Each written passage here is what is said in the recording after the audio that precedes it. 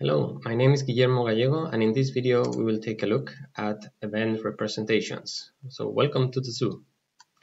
If you take a look at uh, different papers on event-based vision, then you will see that there are many different representation of events. Ideally, we know what the event stream produced by a DVS uh, contains, so the pixel coordinates, the timestamp, and the polarity of these brightness changes in time.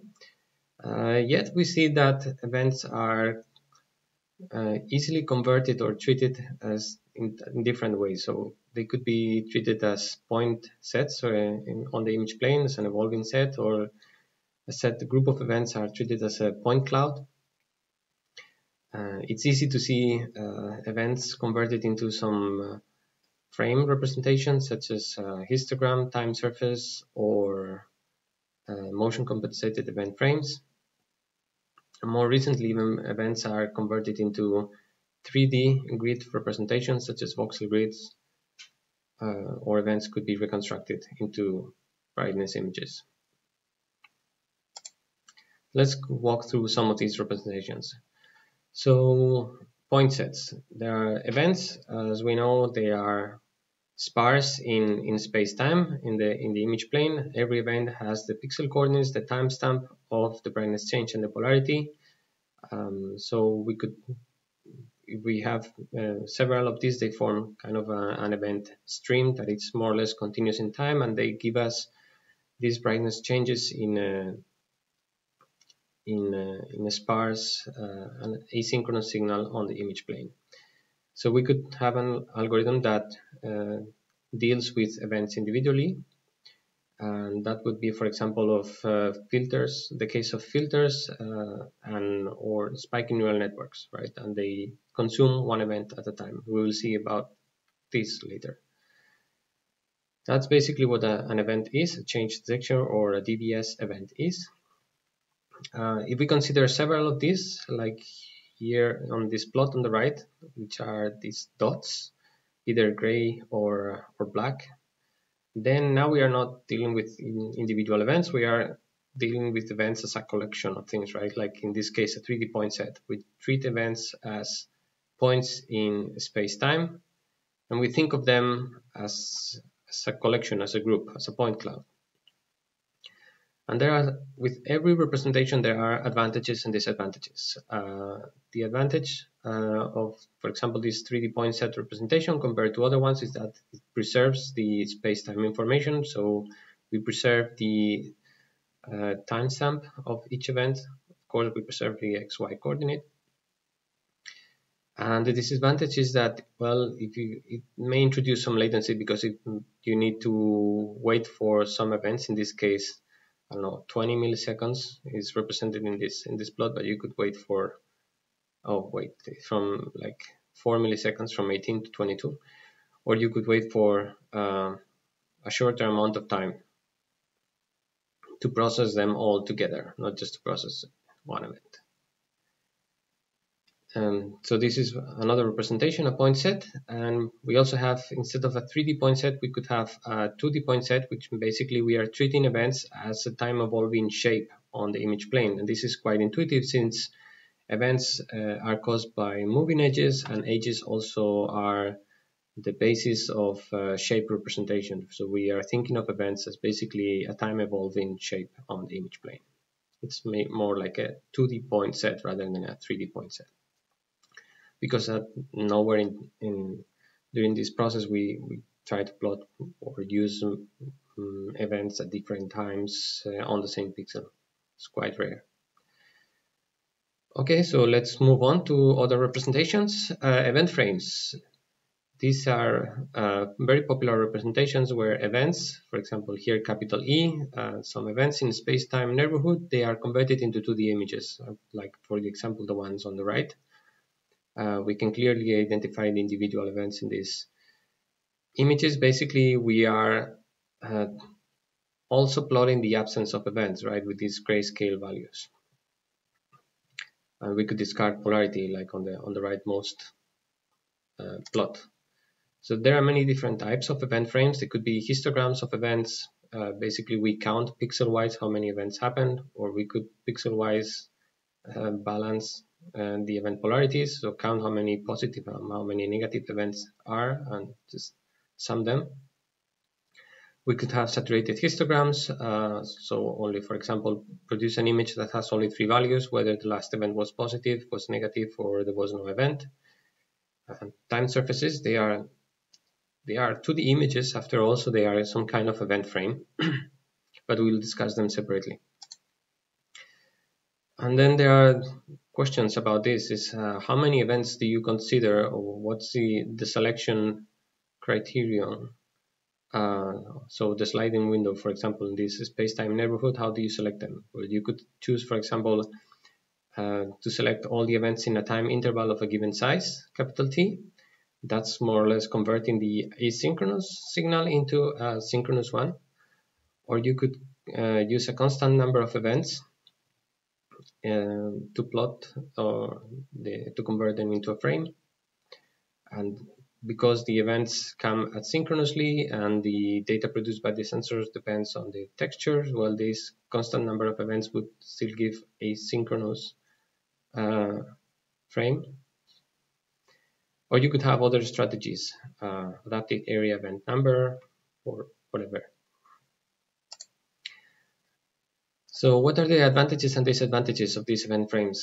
Well, they may have some advantages because they are actually very popular. They have a high impact. Perhaps the most important one is that event frames, they are compatible with conventional computer vision because we are converting the unfamiliar event output uh, into familiar images and therefore then after that we are able to reutilize methods from standard cameras. They also have an intuitive and informative in interpretation because events are caused by moving edges and therefore these event frames they look like edge maps and we know that edges convey a lot of the information of a scene. They are also good as baselines of what uh, is achievable so we could do like quick prototyping, convert the events into frames and use uh, conventional computer vision algorithms to see what would be a reasonable know, the output of a, of a system, the accuracy, and that's also good if you develop a new algorithm, you can compare to what would be, um, for example, in terms of accuracy, um, the comparison between the current algorithm that I'm developing and the algorithm that I could develop if I converted events into frames. Of course, there are many metrics that you could use here, uh, not just uh, accuracy, but you would also need to take into account power, so efficiency and memory and other things. But it's just um, one of the um, usefulness of, the, of this representation.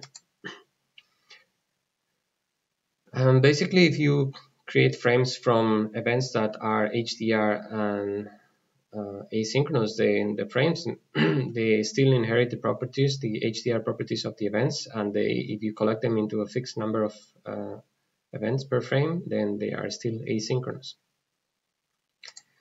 What are the disadvantages? Well, they are not the event-based paradigm that we are uh, trying to build upon because timestamps are quantized, we are spending power in recreating frames, and um, there is some latency introduced because we are we need to wait for some time to collect all these uh, events that will give us uh, an event frame.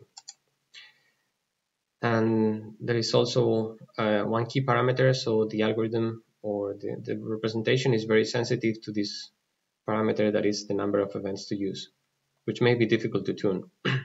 As an example, you see here uh, with two different scenes, uh, sparse texture and dense texture. And on the top row, we see what happens if you use a constant uh, time slice um, of 10 milliseconds, that right? So basically, you're able to capture very well, depends on the motion, of course, but you're able to capture dense uh, texture, but maybe not so well sparse texture if you use a constant number of events, um, say for example 10,000 events, well these 10,000 events, if the scene has a lot of texture, they happen in a very short time interval and these uh, events happen everywhere on the image plane, but we don't collect many events per pixel. Uh, therefore, we don't see here like a clear edge map. Whereas if the events are concentrated in a small region of the image, well, then we see a much clearer uh, um, shape or edge map. And there are other areas such as proposed here by Liu and Delbruck in BMVC 2018 that you use like a, an adaptive uh, some sampling area and um, to try to get the best of, of both worlds, right? Try to have a criterion that it works both on texture uh, scenes as well as uh, sparse scenes. Among the event frames, uh, there's maybe one that uh, it's more popular. It's called the brightness increment images. And they are obtained by accumulating event polarities pixel-wise. These are basically the representations on the bottom of this figure. Over a grayscale canvas, we plot with bright or dark pixels, and uh, every pixel accumulates the number of uh, events, uh, basically the, the, polarity of the events. So bright means that there were a few events with positive polarity and dark means there were events with negative polarity. And the brighter or darker it gets, it means that there were more or more events with positive and negative polarities. and this is a very intuitive representation. So on the top we see the a grayscale frame of the scene and on the bottom we see what happens when we accumulate say 0.01 events per pixel to 0.5 events per pixel. Basically, these images are the ones that you would get if you had, for example, two of these uh, grayscale frames consecutive in times and you would subtract them. Depending how far apart these uh, video frames are, then you would get um, one, uh, one of these uh, brightness increment images and they are good yeah because they have this intuitive uh, meaning that they are incremental images and polarity is used is not discarded and they have been used for many many things such as for stereo depth estimation for camera pose estimation like in this example for optical flow estimation you can also use them for uh, grayscale frame prediction yeah. okay let's move on to another representation. These are called time surfaces. And it's basically a, a time map. It's an image where every pixel value is a function of uh, the time of the last events uh, at those pixels. And we could separate them by polarity as it's here um, represented in the figure. So basically we have an event camera that gives us these on or off events and we could represent these are very short time um, um, representations, but if we collected the events for, in theory, an infinite amount of time, we would see what happened at every pixel. And then we could have this kind of spatial temporal images, or they are also called, I think, motion history images in computer vision. Basically, every pixel here is represented with a color, and the color is kind of telling us how far away in the past the event happened. So bright means that it happened uh, very recently and uh, here dark red means that it happened uh, far away in time. And this is for example only for the for the off events, right? You see these two fronts, black fronts here are these the two fronts, bright fronts here on the on this C inset. And this timestamp map, they can be uh, further emphasized using exponential kernels. And basically the output is an image, but if, you represent this as an elevation map, well, then it looks like a time surface, that therefore the name. That's basically it. What are some of the advantages? Well, this type of representation exposes the rich temporal information of events. Uh, we can see it clearly here, right? We can see that for sparse scenes uh, like this one, that there are only a couple of edges, um, we can see very far away in time what happened with the with this edge. It's an intuitive representation because intensity is a function of motion history. Uh, it can be robust uh, to noise by uh, not just doing a pixel-wise operation by considering a small uh, spatial neighborhood, spatial temporal neighborhood, and doing some filtering of the timestamps. This representation can be uh, updated with every incoming event, although it may be expensive. Uh, if you have to recompute these kernels, it's expensive. If you uh, do not apply an exponential kernel, but just like a simple linear decay, then it may be more efficient. And it's also compatible with conventional computer vision because after all, we are converting events into an image. And yeah, it's a time history image, but computer vision has been also developed to deal with those type of images. What are the disadvantages? Well, we only keep one pixel value, one value per pixel, uh, one timestamp, even if multiple events happen at the same pixel.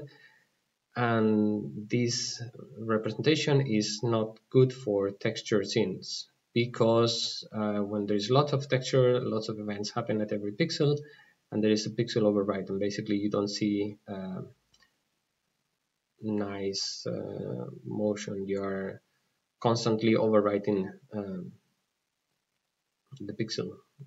You can see this, for example, in, in corner detectors that use uh, time surfaces. They, they, the performance of these corner detectors degrade uh, when texture scenes are are used.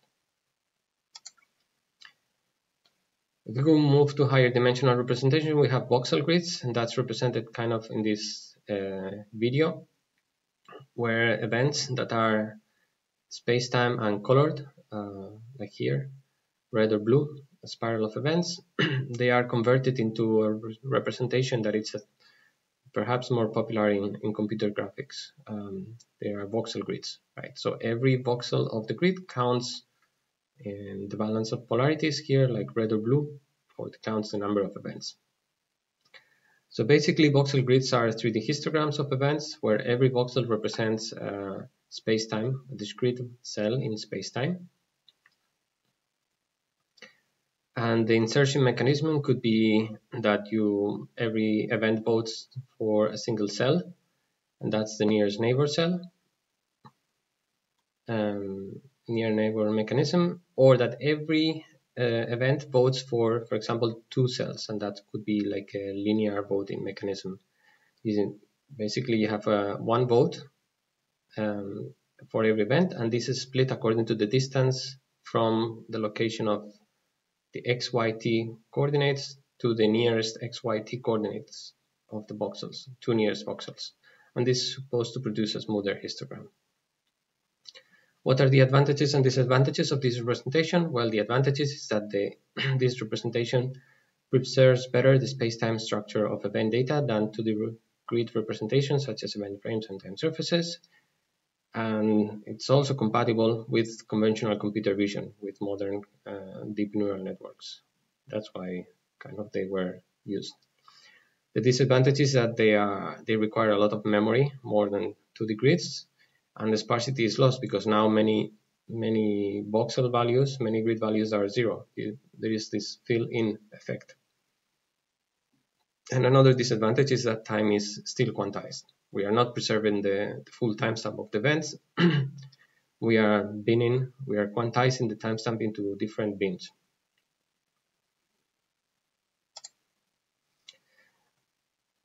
Another representation are these motion compensated event frames, which they are not only a function of event data, but they also need a candidate motion field.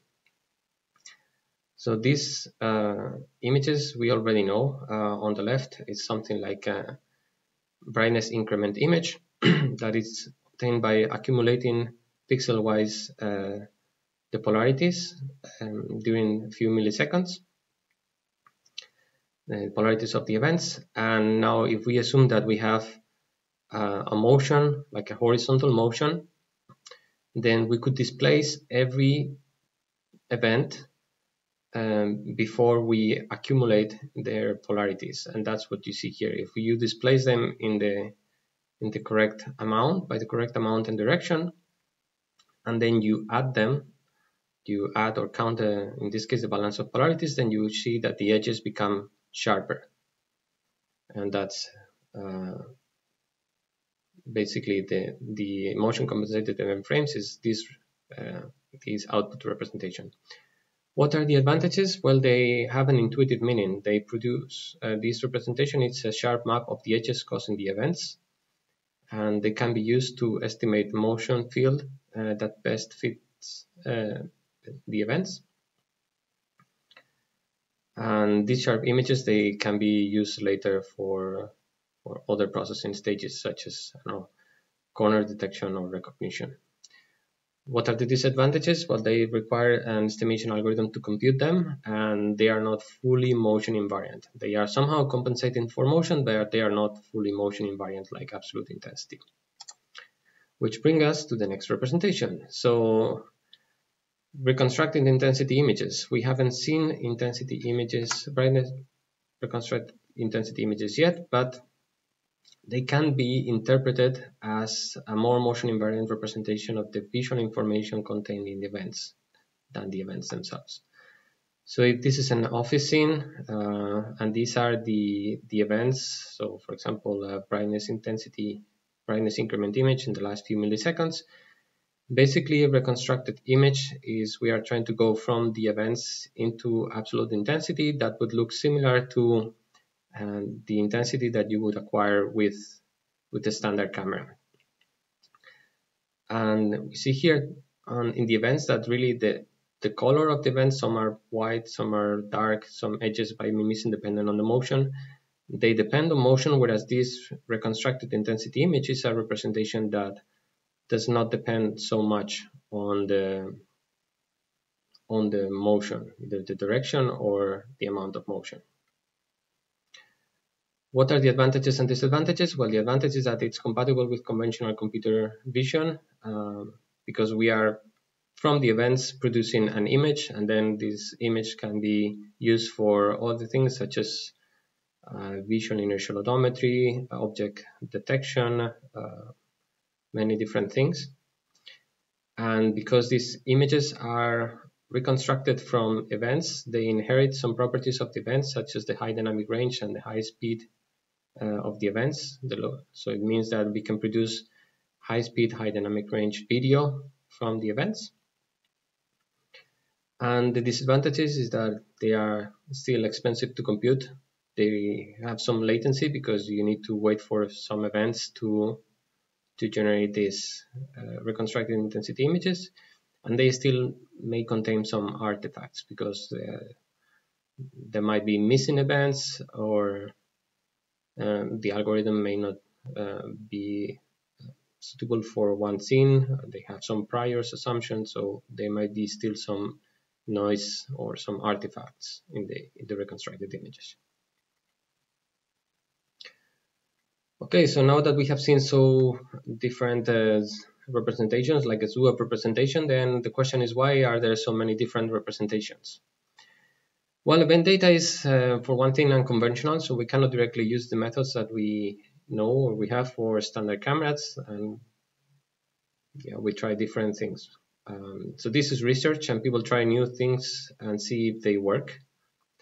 Um, obviously, for the particular task and uh, for problem constraints.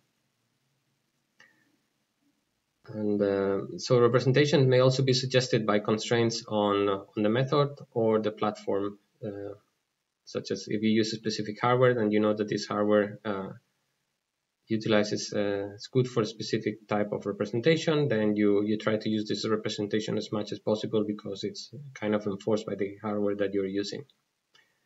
So there could be many different reasons for the representations. Uh, for one thing we could be just trying to reutilize what we know and therefore we convert events into frames and then use a very powerful algorithm others they require um, maybe new new methods, new tricks, and they might be a bit more difficult to come up with if we are not um, familiar with this type of representation. We are not um, yeah used to to it or used to design algorithms with this different representation.